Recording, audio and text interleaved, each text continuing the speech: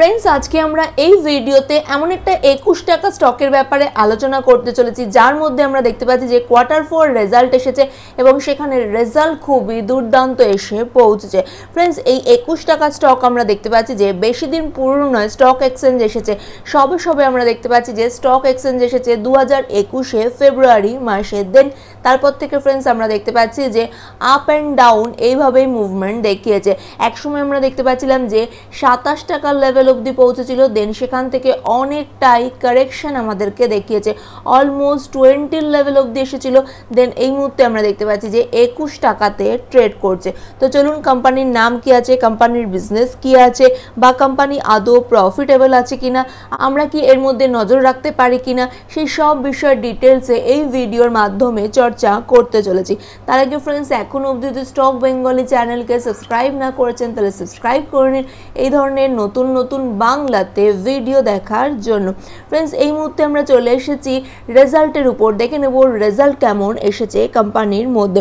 আগের বছর সেম কোয়ার্টারে কোম্পানির মধ্যে টোটাল রেভিনিউ ছিল একশো সতেরো কারের রাইট থার্ড কোয়ার্টারে সেটা আমরা দেখতে পাচ্ছি, দুশো উনষাট কারের হয়ে দাঁড়িয়েছে। এই কোয়ার্টারে সেটা হয়ে দাঁড়িয়েছে একশো একানব্বই করে। তো ফ্রেন্ডস আমরা দেখতে পাচ্ছি যে ইয়ার অন ইয়ার কিন্তু বেড়েছে টোটাল ইনকাম কিন্তু কোয়ার্টারলি যদি দেখবেন তো সেখানে আমরা দেখতে পাচ্ছি যে কিছুটা কম হয়েছে। টোটাল ইনকাম দেখবেন তো আগের বছর সেম কোয়ার্টারে কোম্পানির মধ্যে টোটাল ইনকাম ছিল চারশো পঁয়তাল্লিশ করে। থার্ড কোয়ার্টারে সেটা ছিল পাঁচশো ন করে এবং এই কোয়ার্টারে সেটা হয়ে দাঁড়িয়েছে পাঁচশো তিরানব্বই করে তো টোটাল ইনকাম ফ্রেন্ডস আমরা দেখতে পাচ্ছি ইয়ারলি এবং কোয়ার্টারলির তুলনায় বেড়েছে। টোটাল এক্সপেন্সের উপর নজর রাখব। আগের বছর সেম কোয়ার্টারে কোম্পানির মধ্যে টোটাল এক্সপেন্স ছিল দুশো সাতানব্বই করে থার্ড কোয়ার্টারে সেটা ছিল তিনশো পঞ্চাশ করে এবং এই কোয়ার্টারে সেটা হয়ে দাঁড়িয়েছে চারশো তেতাল্লিশ করে তো ফ্রেন্ডস এখানে আমরা দেখতে পাচ্ছি যে টোটাল এক্সপেন্স কিন্তু বেড়েছে ইয়ারলি এবং কোয়ার্টারলির তুলনায়। প্রফিট ফর দ্য পিরিয়ড দেখব। আগের বছর সেম কোয়ার্টারে কোম্পানির মধ্যে প্রফিট ছিল একশো আটচল্লিশ করে থার্ড কোয়ার্টারে সেটা ছিল একশো উনষাট করে এবং এই কোয়ার্টারে সেটা হয়ে দাঁড়িয়েছে একশো উনপঞ্চাশ করে তো ফ্রেন্ডস আমরা দেখতে পাচ্ছি প্রফিট কিন্তু ইয়ারলি বেড়েছে, কিন্তু কোয়ার্টারলির তুলনায় সামান্য কম হয়েছে। ইপিএস দেখে নেব, আগের বছর সেম কোয়ার্টারে কোম্পানির মধ্যে ইপিএস ছিল ওয়ান পয়েন্ট টু থ্রি পার্সেন্টের মতো থার্ড কোয়ার্টারে সেটা ছিল ওয়ান পয়েন্ট টু টু এবং এই কোয়ার্টারে সেটা হয়ে দাঁড়িয়েছে ওয়ান পয়েন্ট ওয়ান ফোর পার্সেন্টের মতো। তো আর্নিং পার শেয়ার প্রিন্স আমরা দেখতে পাচ্ছি যে ইয়ারলি এবং কোয়ার্টারলির তুলনায় কিন্তু কিছুটা কম হয়েছে। ফ্রেন্ডস এখানে আমরা দেখতে পাচ্ছি যে ইয়ার অন ইয়ার আমাদেরকে পারফরমেন্স দেখিয়েছে, কিন্তু কোয়ার্টারলি সেভাবে আমাদেরকে পারফরমেন্স দেখায়নি। তো চলুন কোম্পানির বিজনেস কী আছে, নাম কি আছে আমরা জেনে নেব। ফ্রেন্ডস এই মুহূর্তে আমরা চলে এসেছি কোম্পানির সেলস দেখার জন্য। দু হাজার আঠেরো সালে কোম্পানির মধ্যে সেল ছিল ন হাজার দুশো করোড় তারপর এগারো হাজার কারোর হলো দেন তেরো হাজার, পনেরো হাজার, এবং এবছর আমরা দেখতে পাচ্ছি যে কুড়ি হাজার কারোর হয়ে দাঁড়িয়েছে। তো সেলস আমরা দেখতে পাচ্ছি বেড়েছে। যদি নেট প্রফিট দেখবেন, তো দু হাজার বাইশ বাইশশো একত্রিশশো, চার হাজার চারশো এবং এবছর হয়েছে ছ হাজার কারোরের মতো। তো নেট প্রফিটও ইনক্রিজ হয়েছে আমরা দেখতে পাচ্ছি।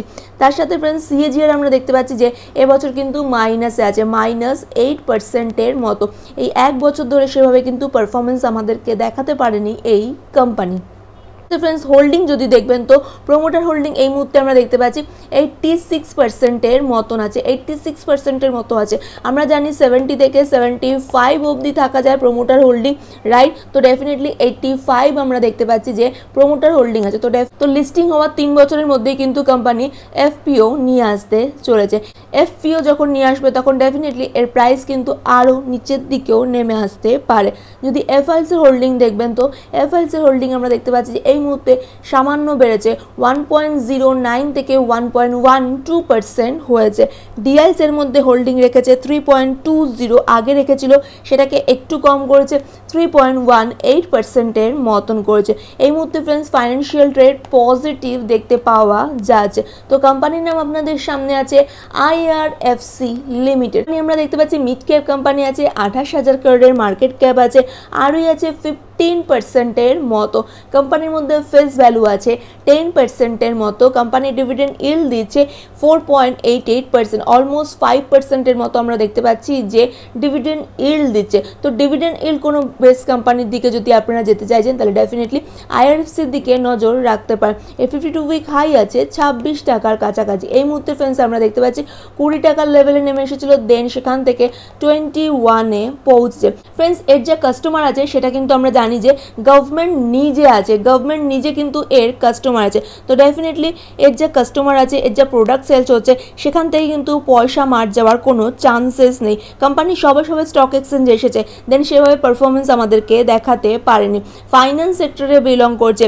রেলের যে ফাইন্যান্সগুলো থাকে না ফ্রেন্ডস ছোটো ছোটো লোনগুলো প্রোভাইড করে থাকে না, সেগুলো কিন্তু ফ্রেন্ডস আমরা দেখতে পাই যে আইআরএফসি করে থাকে রাইট আইআরএফসির মধ্যে ফ্রেন্ডস এই মুহূর্তে আমরা দেখতে পাচ্ছি প্রোমোটার হোল্ডিং এইট্টি সিক্স পার্সেন্টের মতন আছে তো ডেফিনেটলি এইট্টি সিক্সটাকে কিন্তু কম করতে হবে। সেভেন্টি থেকে সেভেন্টি ফাইভ পার্সেন্ট কিন্তু প্রোমোটার হোল্ডিং থাকা উচিত সেভির রুল অনুযায়ী রাইট তো ডেফিনেটলি এর মধ্যে কিন্তু অবশ্যই এফপিও আসবে। এফপিও যখন আসবে, তখন এর প্রাইস কিন্তু আরও কিছুটা নিচের দিকে নেমে যাবে। তো চলুন আরও বিশেষ কিছু পয়েন্টের উপর নজর রাখব। এই মুহূর্তে ফ্রেন্ডস আমরা দেখতে পাচ্ছি এর মধ্যে ভলিউম জেনারেট হয়েছে সেভেন্টি এইট লাখের মতো, তার মধ্যে থেকে থার্টি ফোর পার্সেন্টের মতো কোয়ান্টিটি ট্রেড হয়েছে ইয়েস্টারডে আমরা দেখতে পাচ্ছি ফিফটি টু লাখের ভলিউম জেনারেট হয়েছে তার মধ্যে থেকে forty five percent quantity trade হয়েছে দেখুন, এইভাবেই আমরা দেখতে পাচ্ছি যে ভলিউম কিন্তু জেনারেট হচ্ছে। ফিফটি নাইন লাখ সেভেন্টি লাখের ভলিউম কন্টিনিউসলি জেনারেট হচ্ছে দেখতে পাচ্ছি। এর মধ্যে ফ্রেন্ডস আমরা দেখতে পাচ্ছি প্রাইস পারফরমেন্সের মধ্যে। লাস্ট তিন মাস ধরে এর মধ্যে কোনো পারফরমেন্স দেখতে পাওয়া যায়নি। নেগেটিভ মুভমেন্ট দেখতে পাওয়া যাচ্ছে।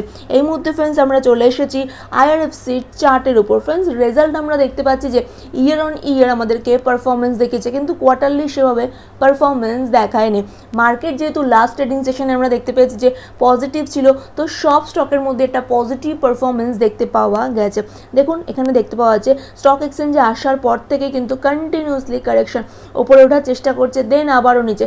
সামান্য সামান্য মুভমেন্ট দেখাচ্ছে দেন নিচের দিকে পড়ে যাচ্ছে ছাব্বিশ টাকা হচ্ছে, এর ফিফটি টু উইক হাই আছে। দেন সেখান থেকে আমরা দেখতে পেয়েছি যে কুড়ি টাকার লেভেলে এসেছিল।